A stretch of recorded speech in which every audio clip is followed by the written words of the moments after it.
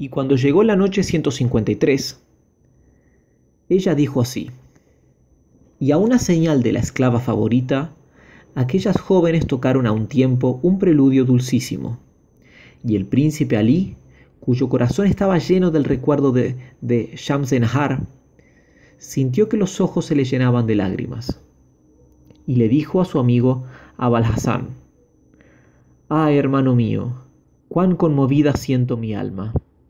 Estos acordes me hablan en un lenguaje que la hace llorar, sin saber a punto fijo por qué.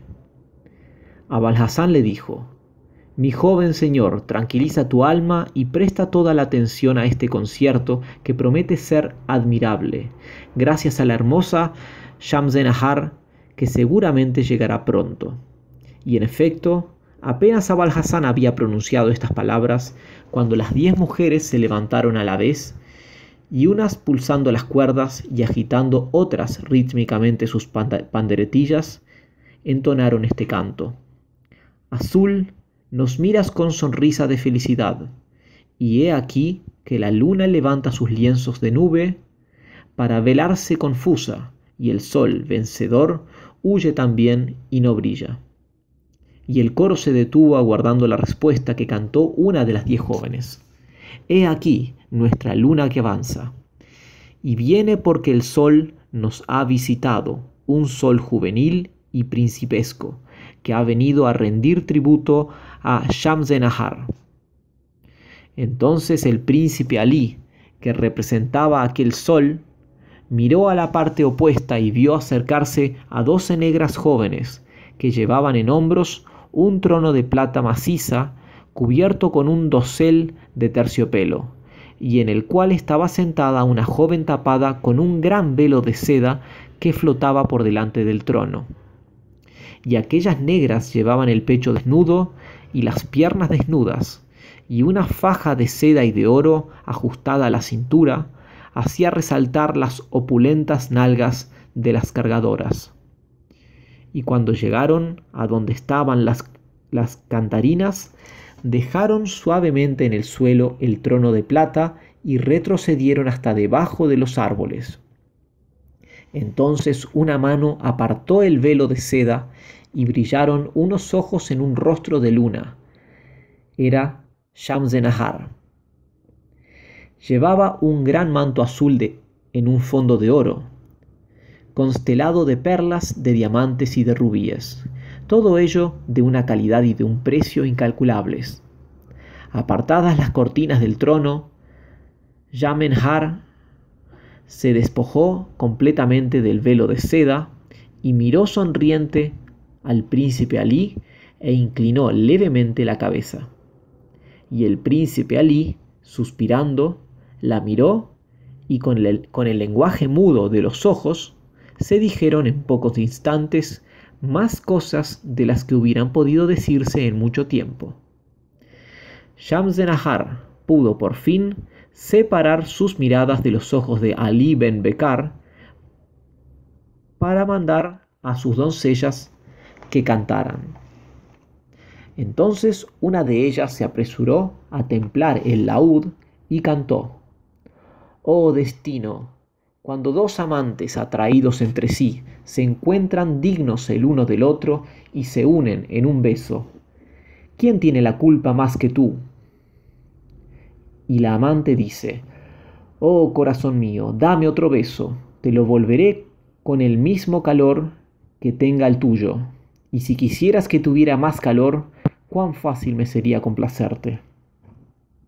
Entonces Shamsenahar y Ali ben Bekar suspiraron, y otra joven cantó, obedeciendo a una seña de la hermosa favorita. Oh muy joven amado, luz que iluminas el palacio en que están las flores, como los ojos del muy amado. Oh carne que filtras la bebida de mis labios, oh carne tan dulce para mis labios. Oh muy amado, cuando te encontré la belleza no me detuvo para decirme entusiasmada, helo aquí, ha sido modelado por dedos divinos. Es una caricia, es como un bordado magnífico. Al oír estos versos, el príncipe Ali ben Bekar y la hermosa Shamsenahar Se miraron largo rato, pero ya una tercera cantarina decía lo siguiente. Las horas dichosas, oh jóvenes, corren como el agua, rápidas como el agua. Creedme, enamorados, no aguardéis más. Aprovechad la dicha, sus promesas son fugaces. Aprovechad la belleza de vuestros años y el momento que os une. Cuando la cantarina hubo acabado su estrofa, el príncipe Alí exhaló un prolongado suspiro y sin poder reprimir por más tiempo su emoción, rompió en sollozos. Shamsenahar, que no estaba menos conmovida, se echó a llorar también y no pudiendo sobreponerse a su pasión, se levantó del trono y se dirigió hacia la puerta de la sala. Inmediatamente Ali ben Bekar corrió en la misma dirección y al llegar detrás del cortinaje que cubría la puerta, se encontró con su amada. Fue tan grande su emoción al besarse y tan intenso su delirio que se desmayaron uno en brazos del otro, y seguramente se habrían caído al suelo si no los hubiesen sostenido las doncellas que habían seguido a cierta distancia a su ama. Las esclavas se apresuraron a llevarlos a un diván, donde les hicieron volver en sí a fuerza de rociarlos con agua de flores, con agua y con flores y con perfumes vivificantes. Y Shamsenahar, al volver en sí, sonrió dichosa al ver a su amigo Ali ben Bekar. Pero, como no viese a Abal Hassan ben Taher, preguntó ansiosamente por él y Abal Hassan, por discreción, se había retirado de allí temiendo las consecuencias desagradables que pudiese tener aquella aventura si llegaba a divulgarse por el palacio.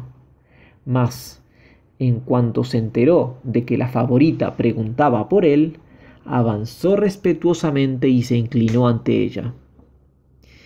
Y Shamsenahar dijo, Oh Abal Hassan, ¿Cómo podré agradecerte tus buenos oficios? Gracias a ti he conocido lo más digno de ser amado que hay entre las criaturas y he gozado unos instantes incomparables en que el alma se llena de felicidad. Sabe, oh Bentajer, que Shamsenahar no será ingrata. Y Abal Hassan se inclinó profundamente ante, la favorita, pidiendo a Alá que le concediese todos los deseos que pudiera sentir su alma. Entonces Shamsenahar se volvió hacia su amigo Ali ben Bekar y le dijo, Oh mi señor, ya no dudo de tu cariño, aunque el mío supere a todo lo que pueda sentir hacia mí. Pero, ay de mí, el destino es muy cruel al tenerme sujeta a este palacio y a no serme posible dar entera satisfacción a mi ternura. Ali ben Bekar contestó, Oh mi señora, tu amor ha penetrado en mí de tal suerte que forma parte de mi alma, hasta el punto que después de mi muerte seguirá unido a ella. Cuán desdichados somos al no podernos amar libremente.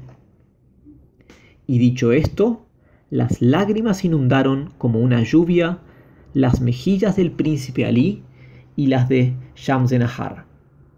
Mas Abal Hassan se acercó a ellos discretamente y les dijo, Por Alá, no entiendo nada de este llanto, ahora que estáis juntos. ¿Qué sería si estuvierais separados? El momento no es para estar tristes, sino para alegraros y para pasar el tiempo agradablemente. Y la bella Shamsenahar, al oír estas palabras de Abal Hassan, cuyos consejos estimaban, estimaban mucho, se secó las lágrimas, se hizo señas a una de sus esclavas, que salió enseguida, volviendo después con varias criadas que llevaban grandes bandejas de plata con toda clase de viandas de aspecto tentador. Y colocadas las bandejas en la alfombra entre Ali ben Bekar y Shamsenahar, se alejaron las criadas y permanecieron inmóviles junto a la puerta. Entonces Shamsenahar invitó a Abal Hassan a sentarse con ellos frente a los platos de oro cincelado, donde aparecían las frutas redondas y maduras y los sabrosos pasteles. Y con sus propias manos, la favorita se puso a servirles de cada plato y colocaba los bocados en los labios de su amigo Ali ben Bekar. Cuando hubieron comido, apresuráronse los criados a llevarse las fuentes de oro y les presentaron un jarro de oro fino en una palangana de plata cincelada y se lavaron las manos con el agua perfumada que les echaron. Después se sentaron de nuevo y las esclavas negras les ofrecieron copas de ágata de varios colores llenas de un vino exquisito, que alegraba los ojos y que ensanchaba el alma. Lo bebieron lentamente, mirándose largo rato, y vacías ya las copas, Yamzenahar despidió a todas las esclavas, quedando solamente las cantarinas y las tañedoras de instrumentos. Entonces, teniendo deseos de cantar, la favorita mandó a una de las esclavas que preludiase el tono, y la esclava templó su laúd y cantó dulcemente lo siguiente. Alma mía, ¿cómo te agotas? Las manos del amor te agitaron en todos los sentidos, arrojando a todos los vientos tu misterio. Alma mía, te guardaba delicadamente en mi pecho, y te escapas para correr hacia el que te hace sufrir. Corred, lágrimas mías, oh, os escapáis de mis párpados para correr hacia el cruel. Lágrimas mías, vosotros estáis enamoradas de mi muy amado. Entonces Yamzenahar alargó el brazo, llenó una copa, bebió de ella, y luego se la ofreció al príncipe Alí, que bebió también, poniendo los labios en el mismo sitio que habían tocado los labios de su amiga. Y en este momento de su narración, Sherazada vio aparecer la mañana y se cayó discretamente. En el capítulo siguiente reanudaremos la historia al llegar la noche 154.